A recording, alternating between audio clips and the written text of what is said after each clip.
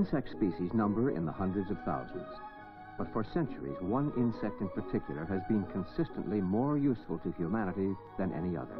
That insect is the honeybee.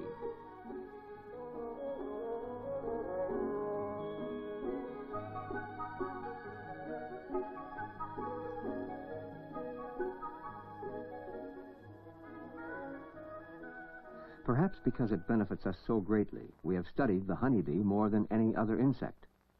Though many mysteries remain, we know much about its life cycle and activities. The honeybee is among the most socially organized insects. It lives in colonies of up to 80,000 bees. Three castes make up a colony. The heart of the colony is the queen. There is only one queen in a hive. Her function is to lay eggs, and she lays hundreds of them every day. Some of her eggs hatch into male drone bees whose sole function is to mate with the queen. The drones are stingless and incapable of feeding themselves. Other eggs hatch into female worker bees. Workers greatly outnumber drones. They are smaller, they can sting, and as their name implies, they do all the work to maintain the hive. The three castes, queen, drones, and workers, combine to form a society so complex and exactly organized that it defies our imaginations to realize that the bees act only by instinct. In the wild, honeybees usually make their home in a sheltered location, such as a hollow tree.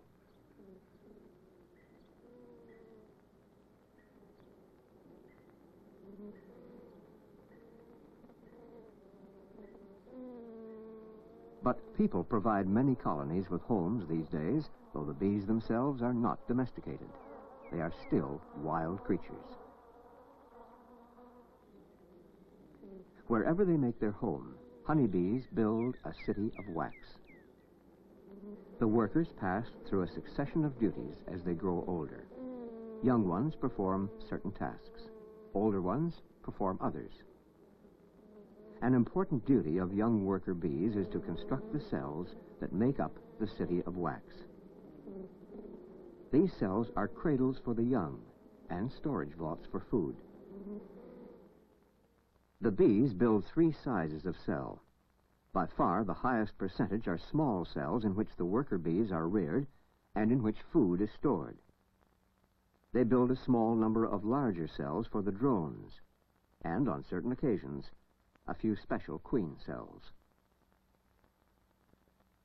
Young worker bees produce wax in glands of the abdomen.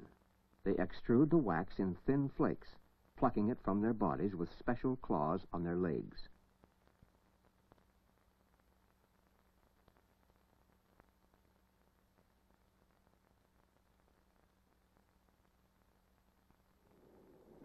Using parts of their mouths, called mandibles, comb builders work the wax and apply it to the developing comb.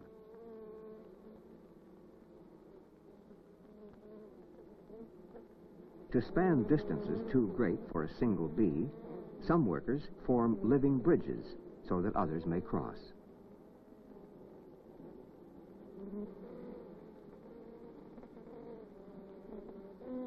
The young workers hang quietly in curtains as the wax forms in their bodies. Here is one of nature's great mysteries. We still do not understand how the bees create these perfect hexagonal cells. Many bees work on each cell, and they work in total darkness. Yet the result is a miracle of precision that rivals the most carefully engineered work of humans. The hive offers the bees protection from the elements and carries them through the seasons. Each season brings new activities to the colony. The bees emerge from winter with their food supplies much depleted. As soon as spring permits, the older bees begin the search for food and water. Flowers give bees their food. From the blossoms, the bees take pollen and nectar, a sweet liquid that is the raw material for honey. The bees also forage for water. With it, they dilute the honey they use in brood raising.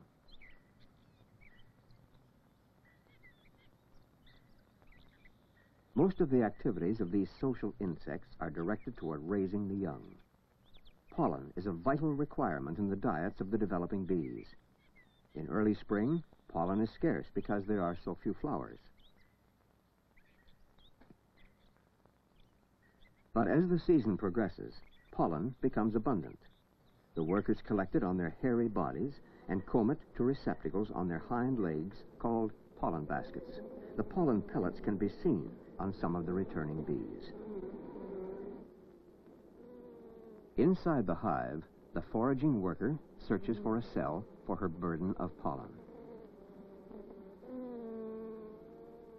Bees may collect pollen and nectar on the same trip. Here she deposits the nectar in a honey cell.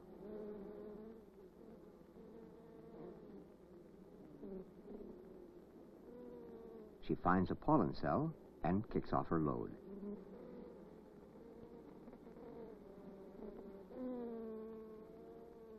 Another worker packs the pollen and adds honey, making bee bread, a food for the young.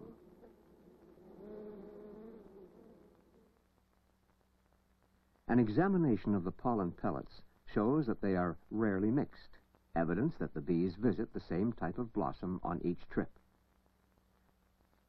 This is most important to our welfare because it means that as they travel from flower to flower, the bees cross-pollinate many of the crops that we depend on for food. Apples, oranges, plums, alfalfa, clover, and dozens of other crops depend on the bee for pollination.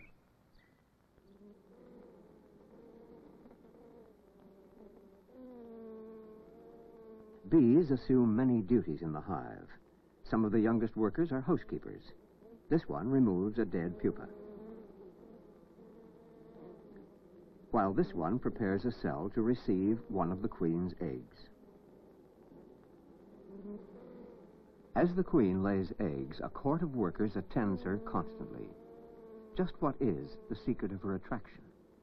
It has been learned that the queen bee emits a complex chemical substance called a pheromone that attracts the workers.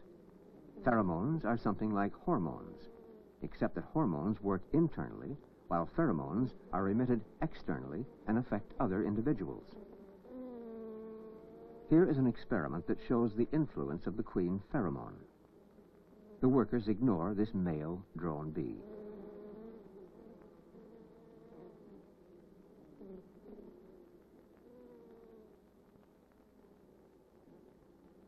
But when the drone is daubed with a drop of queen pheromone, the worker bees react immediately and pay to the drone the same attention that they would to the queen.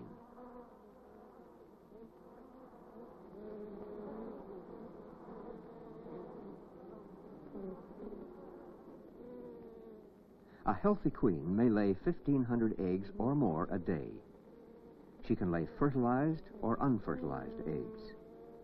In the smaller cells of the hive, she lays fertilized eggs which will develop into the female worker bees. In these larger cells, she lays unfertilized eggs, which will develop into the male drone bees. The developing brood must be well tended. Young worker bees act as nurses. This one takes honey, dilutes it, and feeds it to a developing larva.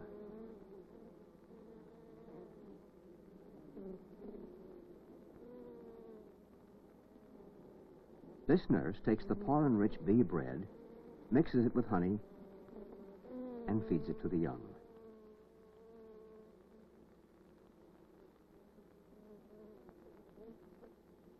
The brood temperature is critical, and if it becomes too high, the bees fan their wings to cool it. Foragers bring water into the hive, which, as it evaporates, further lowers the temperature. When the larvae are fully grown, worker bees cap the cells with wax.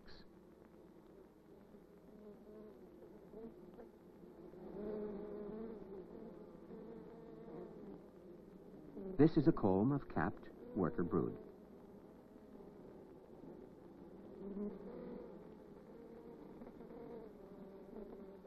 Inside the capped cell, this larva spins a delicate cocoon in which the marvelous process of metamorphosis will take place.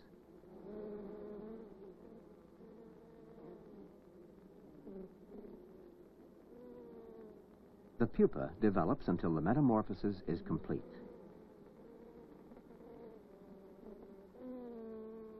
Drones take 24 days to mature. Queens take 16 days, and workers, like the one we're watching, take 21 days. The worker cuts the wax and emerges from its cell. She will feed and rest for a few hours and then take up a succession of duties, first within the hive and then outside it.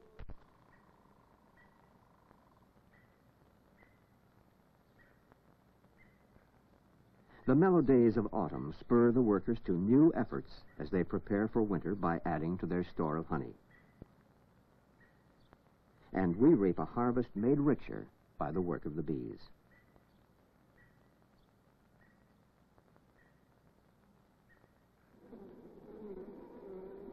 Soon, frost touches the blossoms, and the colony must practice new economies.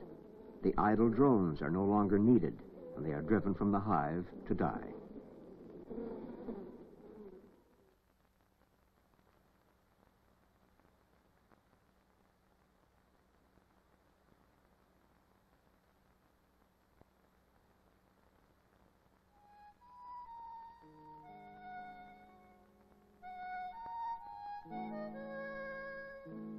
Winter reveals another amazing adaptation of the bees. While all other insects migrate, hibernate, or are killed by the frost, the honeybees actually control their environment. They form a close cluster in the hive with the queen at the middle.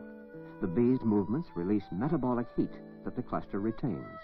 As the bees at the edge of the cluster become chilled, the bees inside change places with them and the colony survives the cold winter. On warm days of early spring, the bees leave the hive to rid themselves of waste.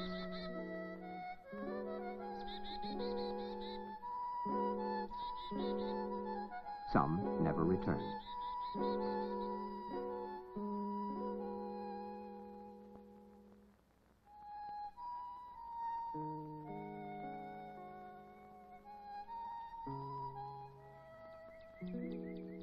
Another spring, an awakening world, and the wonderful life cycle begins anew.